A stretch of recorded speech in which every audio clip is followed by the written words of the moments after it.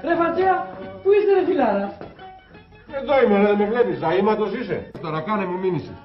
Πού να αρπάζεσαι ρε, ρωτάω από ενδιαφέρον. Ναι, ενδιαφέρον. Άμα ήσουν σε ενδιαφέρουσα για την πάρτη μου, θα άφηνες και τους άλλους να έρχονται να αφήνουν κανένα φράγκο στο μαγαζί. Να τους πεις ότι η χείρα έφυγε και το μαγαζί είναι πλέον ένα σκάνδαλο. Σταυρούλα, με κατακλείζουν οι τύψεις. Μου έχουν κάνει κατακλείσμα κανονικό. Κοιμάμαι τα βράδια και με κυνηγάνε αρινίε. Βάλε ένα τζιν. Είμαι εγώ τώρα για τζιν. Τι είμαι κανένα κοριτσάκι, εγώ τώρα πάω για τα ράσα. Βάλε ένα τζιν πιο χριστιανή μου. Γιατί εγώ από την αρχή δεν ήμουν ασύμφωνο να σου στήσουμε αυτή την κομπίνα. Ω προς αυτό το θέμα είχαμε ασυμφωνία χαρακτήρων. Α, από όσα συνέβησαν μεταξύ μας, μην τολμήσεις να μου ζητήσεις τίποτα. Όχι δα, ούτε 50 ευρώ δεν τολμάω να σου ζητήσω. 20 έχεις. Δριός πεσούσης πάσα νύρ ξυλεύεται. Σταυρουλά, Τι, Βαγγέλη μου.